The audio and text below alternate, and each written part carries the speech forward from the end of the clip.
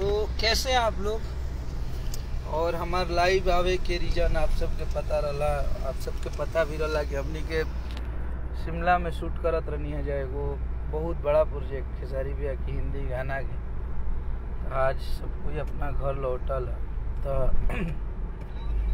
हम कले रहनी है आप सबसे कि हम रात के लाइव आई अपन टाइम के अनुसार। आप सबके बीच में हम लाइव बनी और सबसे बड़ा चीज़ हमारा साथ है, हमारे भाई मनीष जी, अमित जी, गोलू, डमू, मनु और इधर गोलू जी है। सब भाई लोग बा। ये लाइव के आप सब ज़्यादा से ज़्यादा शेयर करी जाए ऐसे कि हम अपना पेज से लाइव आयल बनी और बहुत सारा बात करे के बा आप सबसे तो सबसे बड़ा चीज़ बा कि हमने के भोजपुरी खाती और जरा का भोजपुरी के लिए जे बहुत बड़ा चीज़ कैलस हमने खाती। बड़े भाई, जेकरा से हमनी के कुछ सीखनी जा, जेकरा से भोजपुरी के हमरा नियन तमाम युवा राइटर जे कि नया नया लिखा था उस श्याम भैया से कुछ ना कुछ सीखले रहे। और अचानक ये तरह के एगो सॉफ्ट होला ना, वो टाइप के लागल जब सुननी जाता। और केहू के मौत पे राजनीति कल जाओ केहू के मौत पे राजनीति खेलल जाओ कि ये नहीं किए, वो नहीं किए। कुछ ऐसे हमारे भोजपुरी इंडस्ट्री में नीच लोग हैं। मैं उनका नाम लेना पसंद नहीं करता हूँ। अभी आप सबको पता था कि हम पे एफआईआर भी किया गया था उनके द्वारा। साँच बोलना खाती। तो चालू करते हैं। वो बोल रहे हैं, कल उनका लाइव हम सुने।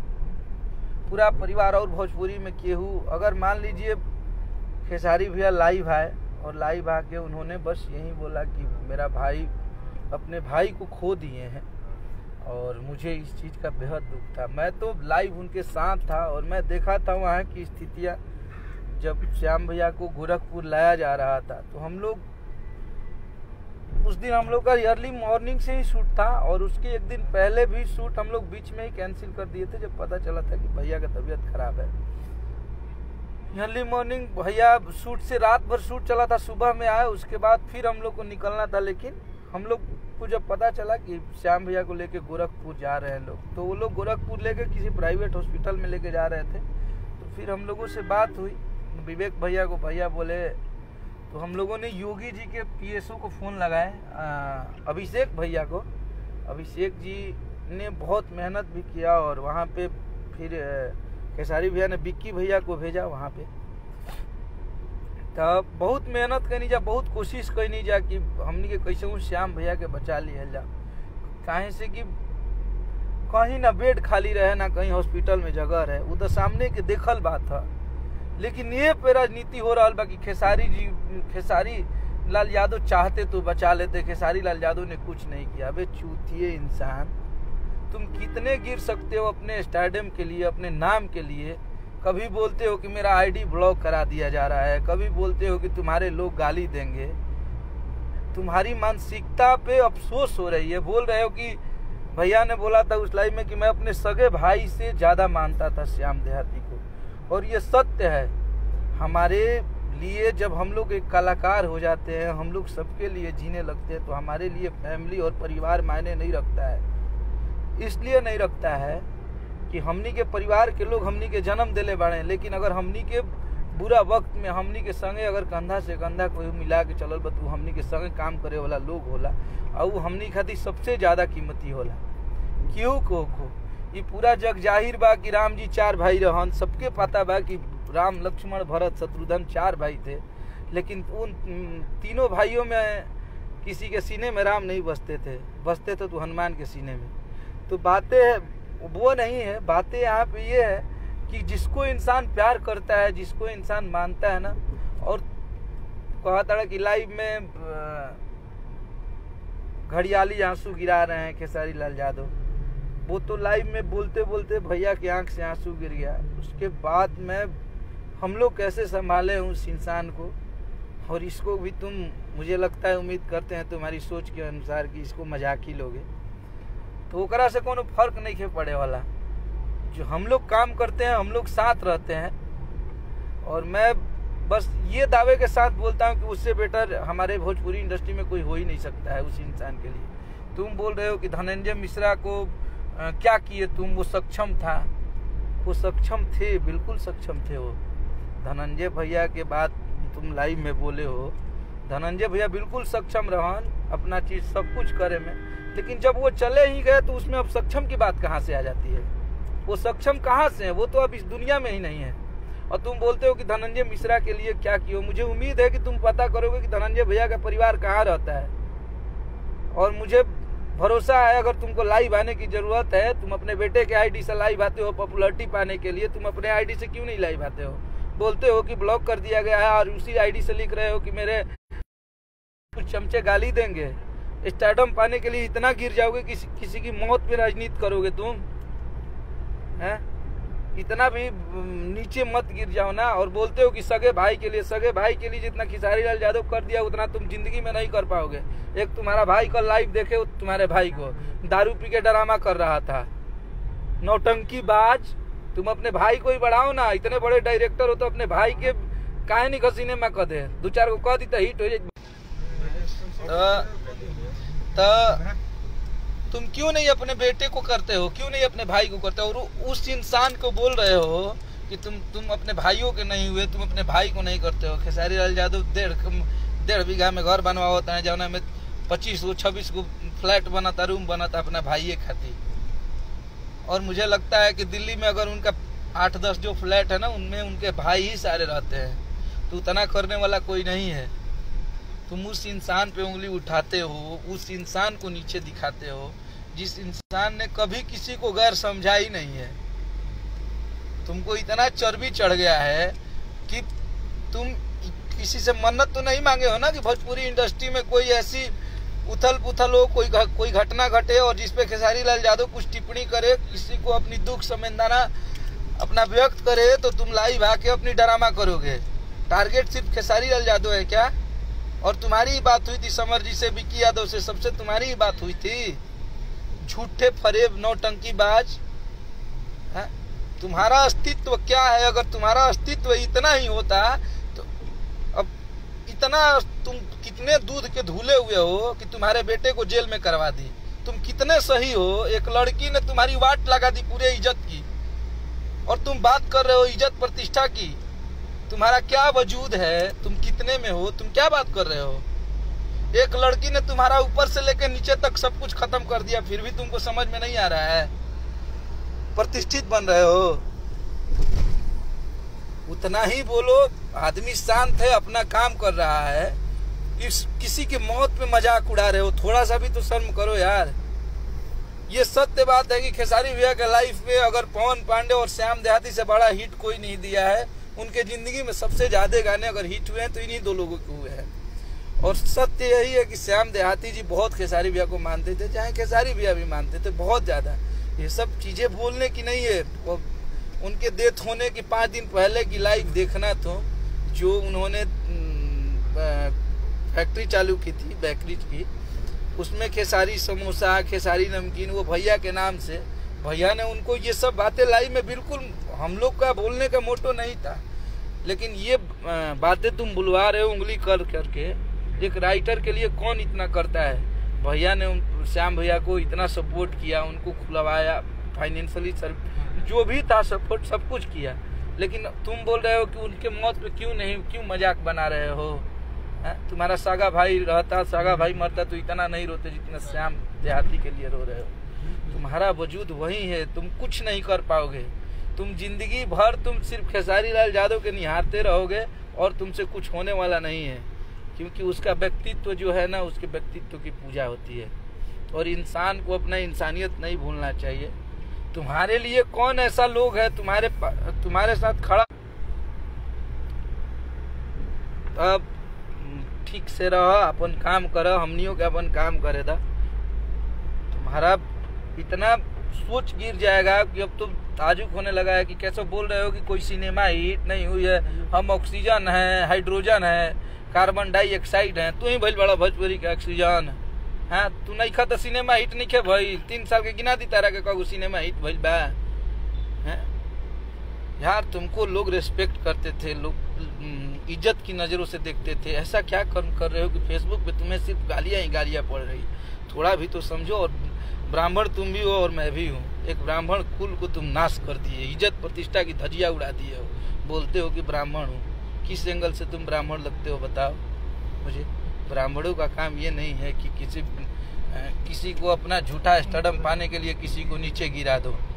ब्राह्मण कतई और जो सच्चा ब्राह्मण होगा ना, कभी ये काम नहीं करेगा। तुम्हारा तुम्हारा जो वजूद है, अस्तित्व है, तुम अपने बेटे को हिट कराने के चक्कर में लगो। कौन दुनिया तुमसे पूछने जा रहा है भाई? तुम अपने बेटे को बना दो सलमान खान के साथ सिनेमा बना दो। किसी को प्रॉब्लम है, कराओ हिट। दूसरे को चक्कर में क्यों पड़े हो भाई? आदमी नईखन बोला चुपचाप बाड़े, हमने के खुदे इतना सदमा में बानी जा, सला कि दो दिन पता ना चल हमने के कि दो दिन कितना कष्ट में और दुख में कैसे समय निकल गई, जितना लोग संगे रही जब इतना कष्ट भाई। और हम लोगों ने जितना प्रयास करना था, अगर पैसे से बचाना होता, अगर श्याम भैया को तो कब के हम लोग बचा लिए होते, लेकिन पैसे मायने मायने नहीं रखते हैं। अब तो ऐजा ये बुझाता कि रुपया, पैसा कुछ ना, मौत के सामने कुछ नहीं है। और ये पूरी, पूरा जग ज़ाहिर बा। और आज मैंने श्याम जी के, श्याम भैया के, भतीजा की इंटरव्यू देखनी है। वो खुद लड़का बोल रहा है कि खेसारी भैया का बहुत फ़ोन आया था। और सच्चाई बात यह बा कि उनका के मेडिकल कॉलेज ऑन हॉस्पिटल रहे जौना में एडमिट करावल गई। जो जोगी जी के पीएसओ हैं, अभिषेक भैया, उन लोगों से, उनसे हम लोग बात किए और बात करने के बाद हम लोग उस लड़के को बहुत डील किए कि भाई इधर जाओ, उधर जाओ, सामने जाओ, गेट पे अनिल त्रिपाठी एक डॉक्टर है वहाँ के सीनियर। उनका नंबर हम लोग को मिला, अभिषेक भैया दिए। और फिर अनिल जी आके अनिल जी चेकअप किए। उसके बाद हाँ ये सत्य है कि बेड खाली नहीं था। बेड के लिए बातें चल ही रही थी, लेकिन श्याम भैया के पास उतना समय नहीं था। लेकिन इस पर भी तुम मज़ाक बना रहे हो। क्या उनका भतीजा झूठ बोलेगा? है? हम लोग उस दिन पूरे शूटिंग कैंसिल करके हम लोग होटल से बैठ के चारों तरफ़ इधर विक्की भैया को, भैया ने फ़ोन किया, भेजे, आज़ाद भैया गए। कवि जी को हम लोगों ने फ़ोन किया, फिर उन्होंने निरोह भैया से फ़ोन कराया था, तुम चूतिए इंसान, तुम अब बिना नॉलेज के चले आते हो लाइव लेके बोलने। तुम्हारी क्या औकात है भे? कुछ भी होता है, तुम्हारी बेटी बहन भी भाग जाएगी तो बोलोगे, खेसारी लाल यादव भगा कर लेके चल गया है। हैं? तुम्हारा कोई अस्तित्व है कि नहीं? तुम्हारा जमीर मर गया है। हिट होने के लिए कुछ भी करोगे और तुम अपने पागल भाई को पहले समझा दो। कि दारू पी के जो लाइव आता है ना हूँ यहाँ करता है पागलों की तरह कि काट देंगे फेंक देंगे। हाँ, गर्मी भाई बात ठना जी हैं। तो पहले अपने देखो अपने में कि कितने छेद हैं दूसरे को छेद देखने से पहले दूसरे को निहारने से पहले अपने में देखो कि क्या क्या तुम कर रहे हो। तुम क्या क्या करके यहाँ तक आए हो? तुम क्या बात करोगे? अगर तुम में इतनी ही इंसानियत होगी तो अभी भी पैसे वैसे रखे होगे डेढ़ दो लाख रुपया दो लाख ढाई लाख मदद कर दो। हम लोग खुशी से तुम्हारा पोस्ट डालेंगे। कि राजकुमार जी ने श्याम भैया को आ, बच्चे को बीबी को उनको पढ़ने के लिए इतना सहायता किया हम लोग तो कर रहे हैं। तुम करो। तुम करके हम लोग स्क्रीन शॉट दो नहीं डालेंगे तो फिर बोलना दोगला बोल रहा था लाइव में बोल रहे हैं। खुशी की बात होती है। सपोर्ट करने की जहाँ बात आएगी तुम क्या किए हो भोजपुरी के लिए? किसको सपोर्ट किए हो? हाँ, जो इंसान हमेशा से दूसरे के लिए करता आ रहा है उसकी टांगे खींचने पर लगे हो तुम। तुम्हारा वजूद यही है। तुम तुम बिल्कुल ही तुम्हारा अस्तित्व और जमीर दोनों मर चुका है। तुम्हारा कोई अपना खुद का तो वजूद ही नहीं है। चले हो ज्ञान बांटने। तुम कितने सही हो कितने अच्छे हो ये हम लोग जानते हैं। क्रोकोडाइल डियर मत बनो। पूरी इंडस्ट्री जानती है कि खेसारी लाल यादव कैसा इंसान है। ये तुमको बताने की ज़रूरत नहीं है और किसी के गिराने से इंसान नहीं गिरता है। जब लोग ये लोग इग्नोर नहीं कर देंगे, जब लोग, जब तक ये लोग जो दर्शक हैं ना, ये लोग जब तक अपने नज़रों में गिरा नहीं देंगे किसी को, कोई नहीं गिरा सकता है। तुम्हारे जैसे रोड छाप लोग तो ऐसे भी कुछ नहीं कर पाएँगे। लेकिन मजबूर कर दिए तुम। तुमने मजबूर कर दिया था लाइव आने के लिए सब लोग को। तुमको अच्छा लगता है ये सब? और मुझे शौक नहीं है कि तुम्हारे बारे में हम चर्चा करें। लेकिन बोलोगे, अगर जो बोलोगे, क्योंकि मैं भी एक राइटर हूँ और मैं एक गीतकार के हम दर्द समझ सकते यानी कि कितना वो इंसान पे बीतत हुई, वो परिवार के कितना कष्ट होत हुई समझत हो खब। एक राइटर के लिए, एगो गीतकार कतनो कमा लिए हमनी के कतनो रुपया पैसा कमा ले जा। तो हम लोगों के पास क्या सक्षम हो जाएँगे, कितने सक्षम हो जाएँगे, ये हम लोग जानते हैं, ये तुम भी जानते हो, गीत लिख के कोई क्या कर सकता है। लेकिन फिर भी तुम बोल रहे हो कि धनंजय मिश्रा सक्षम थे, धनंजय मिश्रा के लिए क्या किए हो? तुम्हें अगर थोड़ा सा भी इंसानियत होगा तो पूछना कि धनंजय धनंजय भैया का फैमिली कहाँ रहता है? मुझे उम्मीद है, अगर तुम सच्चाई से पता करोगे तो पता यही चलेगा कि खेसारी लाल यादव के घर में पूरा एक फ्लैट उन लोगों के लिए दिया गया है, रहते हैं वहीं पे वो लोग। सारे लोग, जब से धनंजय भैया गुजरे हैं तब से। और आजीवन, जब तक वो लोग रहेंगे, जब तक मन करेगा वो लोग, वो घर उन लोग के लिए है। इतना किसी भोजपुरी स्टार में इतना बड़ा दिल नहीं है किसी को कि अपना घर दे देगा रहने के लिए और उनके साथ कंधे में कंधे मिला के चलने के लिए। तो तुम क्या इंसानियत की बात करोगे यार? गुस्सा आता है। और आप एक प्रतिष्ठित व्यक्ति थे, आपको हम लोग सम्मान करते थे, आपने भोजपुरी के लिए बहुत कुछ किया था। लेकिन ऐसा आप, क्या आपको हो गया है कि आप बार बार ये सब चीज़ें कर रहे हो? ये सब चीज़ें अच्छी नहीं है, और सिर्फ़ किसी एक इंसान को टारगेट करना, ये गलत चीज़ है। और ये हम लोग बर्दाश्त नहीं करेंगे, क्योंकि हम उनके साथ रहते हैं और हम लोग काम करते हैं, हम जानते हैं कि भैया कैसे इंसान है। हमेशा जो दूसरे के लिए जीता है दूसरे के लिए सोचता है उसको आप हमेशा नीचे गिराने में लगे हो। कौन होगा वैसा इंसान यार जो किसी किसी फौजी के घर के बेटे को गोद ले ले? है? कौन वैसा इंसान होगा? किसी कर, अभी तुमको पता होगा पिछले साल लॉकडाउन में कितना हम लोगों ने चारों तरफ़ उनके खेसारी फाउंडेशन से हम लोगों ने काम किया था हर गरीबों को। तो ये सब चीज़ें बताने की नहीं होती है। हम लोग करते हैं तो कभी गिनाने के लिए नहीं करते हैं। हम लोग का काम बोलता है, हम लोग मेहनत करते हैं। लेकिन तुम इसमें कुछ करते हो नहीं और तुम लाइव आके लंबी लंबी अपना भाषण जाते हो। और तुम्हारा एक पागल भाई है, उसको तो देख के हमको लग रहा है कि वो जॉनी लिबर टू है। तो कुछ भी करते रहते हो तुम लोग। मार देंगे, काट देंगे, फाड़ देंगे, क्या कर देंगे क्या? अरे ढंग से रहो, अपना काम करो, हम लोग भी अपना काम कर रहे हैं।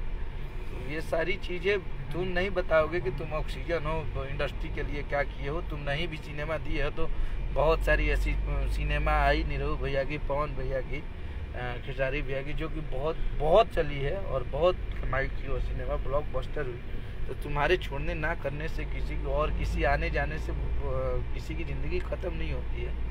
तो तुम अपना काम पे ध्यान दो। और अपना स्टैडम पाने के लिए, अपना पॉपुलरिटी करने के लिए अपने बेटे के आईडी से लाइव आते हो कि ज़्यादा लोग देखेंगे। किसी के मौत में भी मज़ाक अगर कोई उड़ाना हो तो तुमसे सीखे यार। हम लोग कितने दर्द में हैं। हमेशा हम लोग, हमेशा हम लोग हंसने बोलने वाले इंसान हैं। हर दुख की घड़ियों में हम हमेशा मुस्कुराते रहते हैं, हँसते रहते हैं। लेकिन जब से श्याम भैया को खोए हैं, हम लोग एक सदमा सा लग गया है। थोड़ा सा भी तुम्हें इंसानियत होता तो इस लाइव का और किसी के दुख का मज़ाक नहीं उड़ाते तुम। अगर कोई इंसान लाइव आया और बोलने के लिए तो रो तो रोने रोने रोने, रो रहा है कोई इंसान। तुम बोल रहे हो कि घड़ियाली आँसू गिरा रहा है। तुम्हारी सोच यही है, तुम्हारी मानसिकता यही है। तो ढेर अत ना करेगे और पाप के घाड़ा भरेला तो फाटेला ही पता बा। और तुम बोल रहे हो कि भगवान नहीं। काटने मारने की बात नहीं है और हम लोग एक कलाकार हैं और कलाकार कबू लड़ाई झगड़ा ना करस और हमनी के प्रेम से, शुरू से ही हमनी के रहल तो आप लोग किसी को गाली गलौज मत दीजिए गाली मत दीजिए किसी को भी। जो भी है, उनकी भी माँ बहन है, हम लोगों की माँ बहन है। हमने क्या इतना मूर्ख नहीं कीजा कि तारा निहन माई बहन के केहू के गाड़ी देवे लगी जा कहे कि हमनी की इंसानियत ज़िंदा बा और हमनी के जमीर ज़िंदा बा। हमनी के माई बाबू ही निखन सिखैले कि लाइव दारू पी के आके और उल्टा पुल्टा केहू के बोली वगैरह के सिखाई। ये सब चीज़ें नहीं है और किसी की मौत पे राजनीति यार कितने गंदे इंसान हो। एक ब्राह्मण का ये काम नहीं है यार। तुम यादव को बोल रहे हो कि यादव है तो नान जाते। हैं जाति बात, भोजपुरी जाति से चलती है यार। भोजपुरी में जात पात ऐसा हमारे भोजपुरी के सारे लोग हम लोगों का गाना सुनते हैं तो जात पात इसमें कहाँ से आ गई? जाति की बात करते हो कि वो जादो है तो जादवों को ये हो गया तो वो नान जात है। ये सब शोभा नहीं देता है, ये सब अच्छी चीज़ें नहीं है।